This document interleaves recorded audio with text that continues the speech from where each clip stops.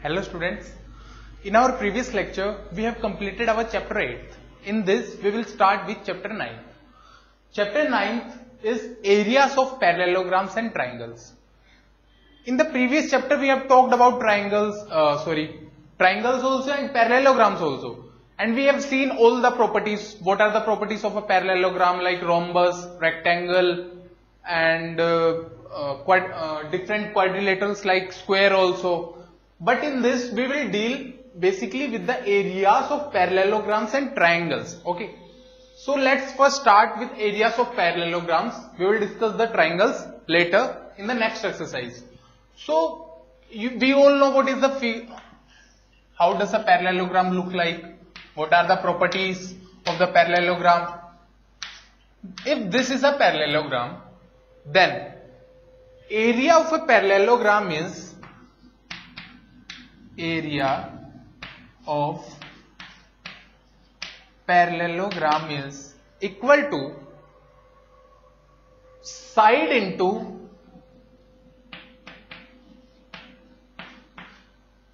perpendicular bisector side into perpendicular side into perpendicular और we can say height also the definition corresponding altitude. To be precise it's called corresponding corresponding altitude. Now what is an altitude? We all know altitude is which is perpendicular. So if we take this a perpendicular from D on AB this. This let's say this is S. This ds this is known as altitude.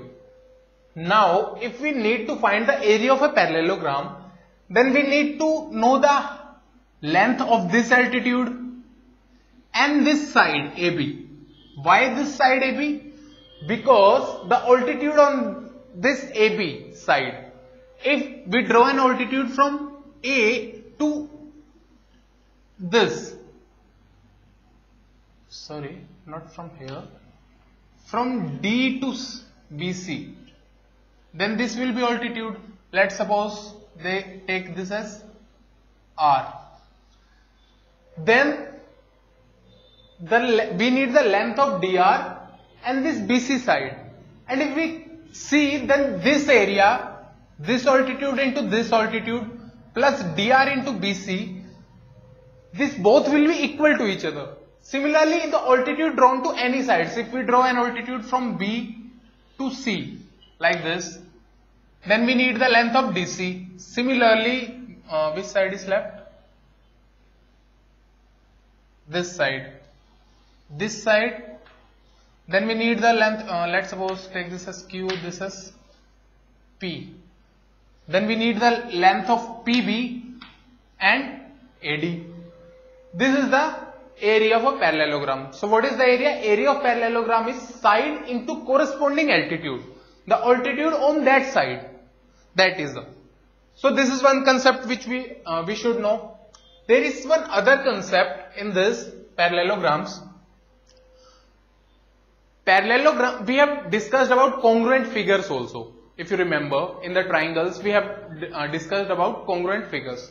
So there is a property that if this uh, if we have two triangles let's suppose a b c and this is pqr if these two sides are congruent let's suppose abc is congruent to pqr then their area will also be similar.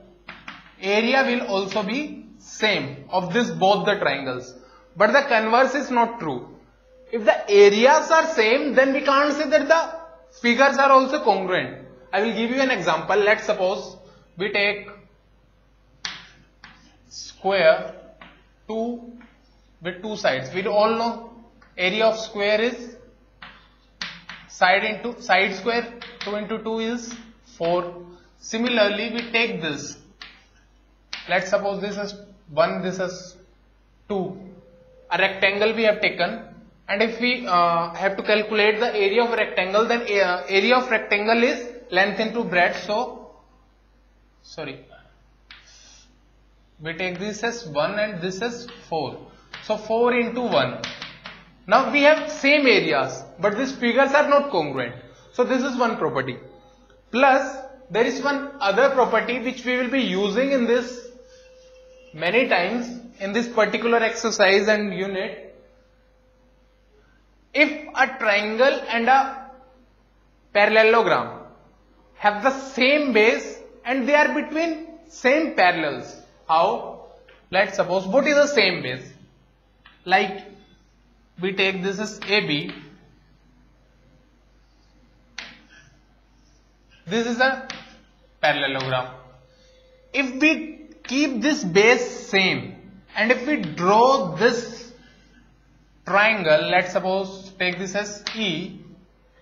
Then this triangle and this parallelogram has same base AB this is AB and they are between same parallels AB and DC so the property says that area of triangle ABE is equal to half of area of ABCD.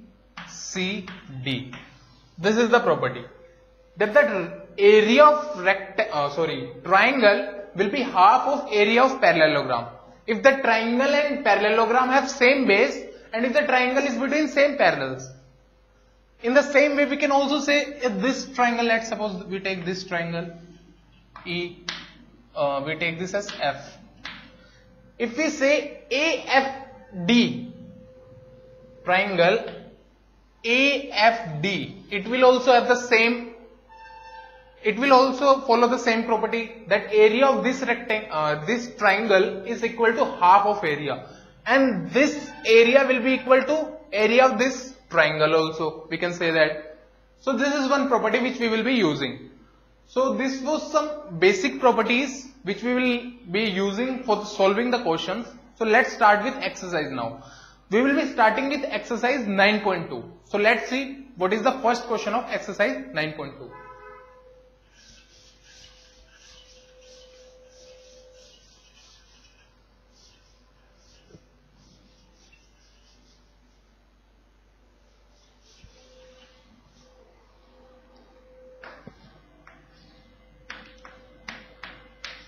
exercise 9.2 question number 1 there is a figure. First let's draw the figure.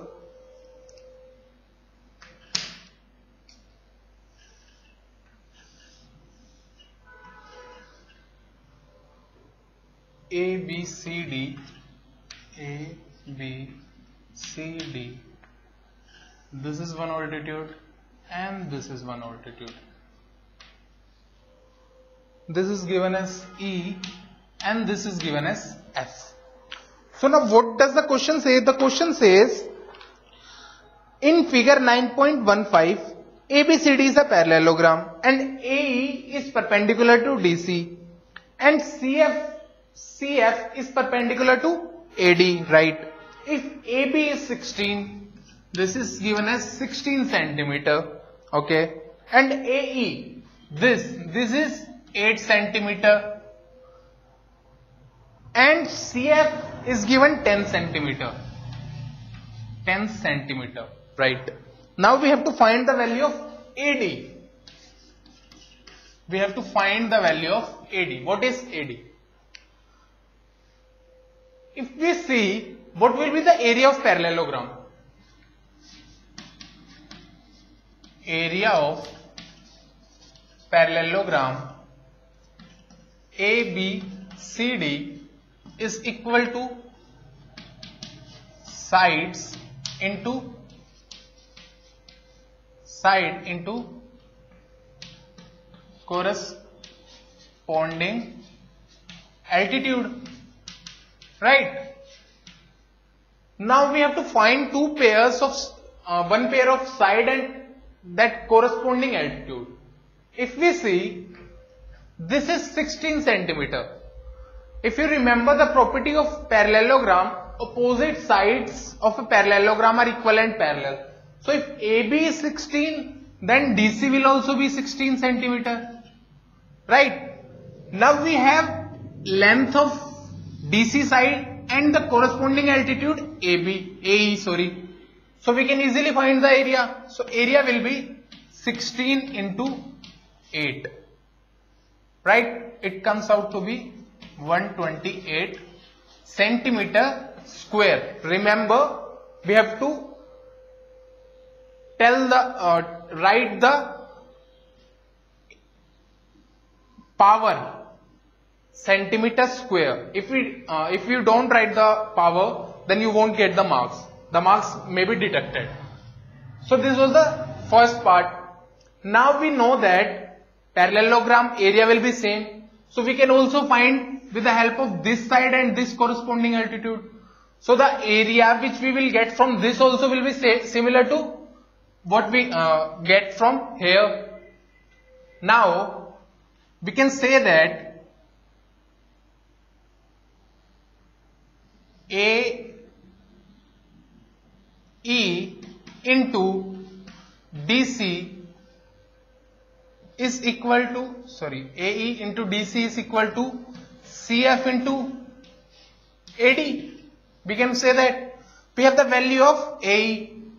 AE into DC we have just find out it was 128. We have the value of CF it is 10 and we need to find the value of AD.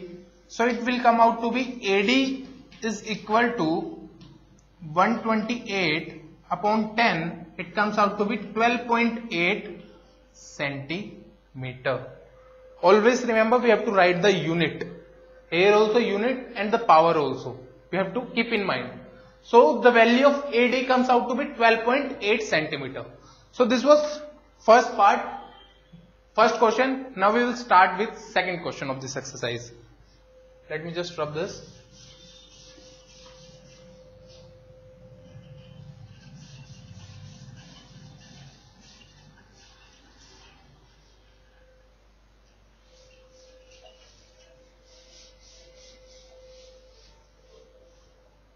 Question number 2 of exercise 9.2.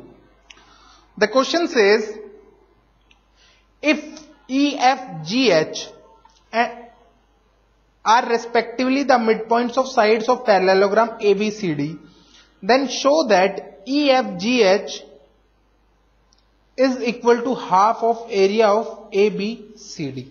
Okay. Let's first draw the figure. It says this is a parallelogram A, B, C, D. And midpoints of sides of okay. This is E. Let's E F G and H. If we join this they are saying that we have to prove that area of EFGH is equal to half of area of ABCD. Right? So how will we do it? First of all, join HF. This. Now, if we see, draw HF, draw HF parallel to AB. Right? We have to draw a line HF which is parallel to AB. Now, if we see HF is parallel to AB and HA is parallel to FB. This is parallel to this and this is parallel to this. So if opposite sides are parallel then it implies that ABFH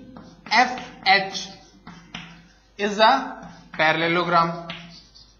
This, this figure it becomes a parallelogram. Now we see this is a triangle HEF. This has the same base HF both the par both parallelogram and triangle have the same base HF and they are between same parallels HF and AB. If we see in ABFH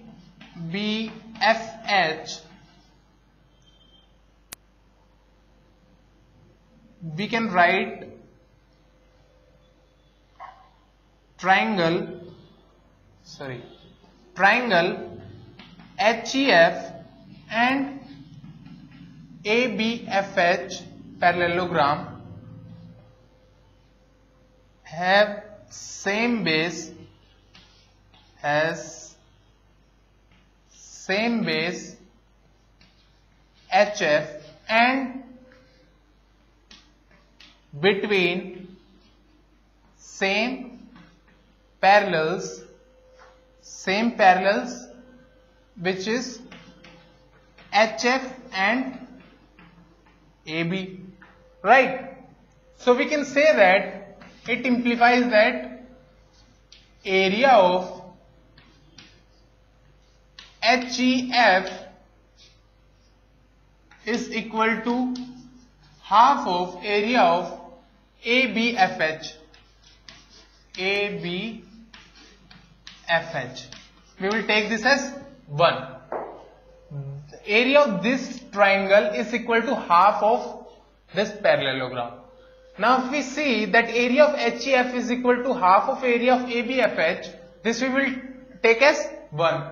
Now similarly we can also say that HGF is area of HGF is half of HF F, uh, HFCD by same property because HF is parallel to DC. HF is parallel to AB then it will be parallel to DC as well and DH is parallel to CF so this is a parallelogram. Now in this parallelogram we have a triangle and a uh, same base triangle and parallelogram and same base and same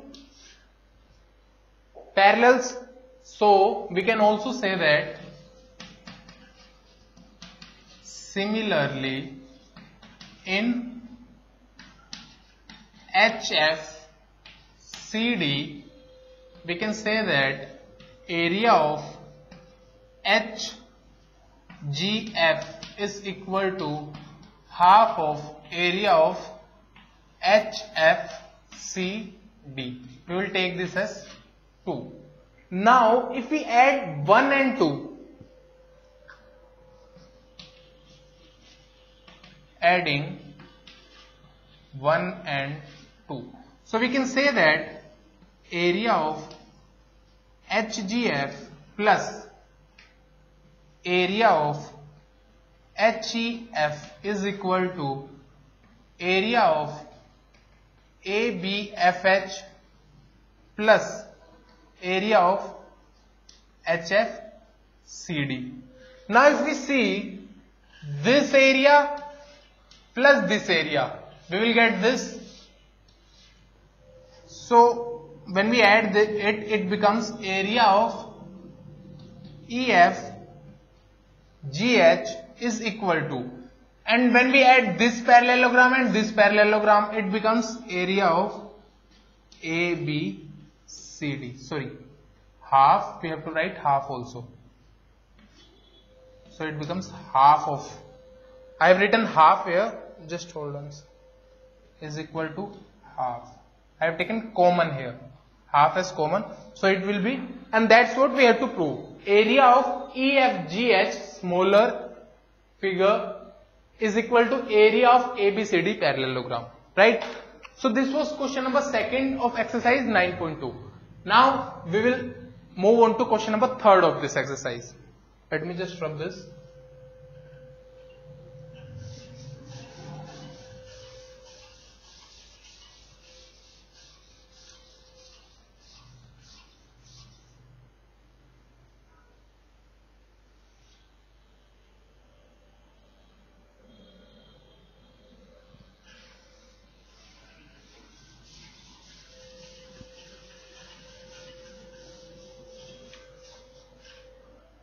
Question number third of exercise 9.2. It says P and Q are two points lying on side DC and AD respectively of parallelogram. First of all, let's draw the figure. This is the figure A, B, C, D. This is the parallelogram. And sides are given P and Q on DC and AD. DC and AD. P, Q. Right. This is given to us. Okay. Now it says, show that area of APB, APB and area of APB and BQC, BQC.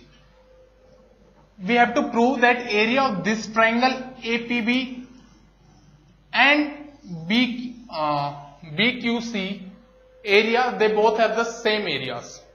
I've just told you earlier also how it will be same. So we have to prove here. So let's prove it. In parallelogram ABCD, triangle APB and parallelogram ABCD have same base AB and are between same parallels same parallels AB and BC. This triangle is on same base, the parallelogram and triangle and is between same parallels. So we can say that area of APB is equal to half of area of parallelogram which is ABCD. We will take this as 1. This was the first thing. Now if we see, if we rotate this parallelogram and if we see this BQC, BQC and parallelogram, they have the same base BC and are between same parallels BC and AD. So, if we say in parallelogram ABCD triangle BQC and parallelogram ABCD have same base BC and are between same parallels BC and AD. So we can say that area of BQC is equal to half of area of ABCD. Let's take this as 2. Now from first we have area of APB is equal to half of area of ABCD and from second we have area of BQC is equal to half of ABCD. The right hand sides in both the cases are same. So left hand sides will also be equal to each other. So we can say that from 1 and 2 it implies area of APB is equal to area of BQC. That's what we have to prove. ABC, APB and BQC area we have to prove that these areas are equal. So this was question number third. Very easy question. We just need to apply the logic, the property which I have told, which I have told you earlier. So this was question number three of exercise 9.2. In this lecture only up till here, we will discuss the remaining questions of this exercise in the next lecture. So thank you very much.